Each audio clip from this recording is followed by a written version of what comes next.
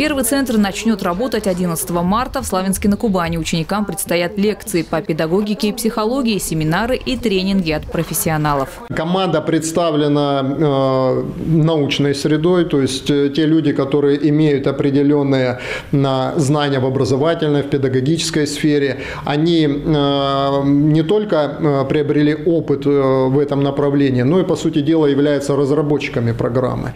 После обучения студенты сдадут экзамен. Те, кто справится со всеми задачами, получат свидетельство о дополнительном образовании и возможность поработать в лучших лагерях края – Орленке, Смене и молодежном форуме «Регион-93».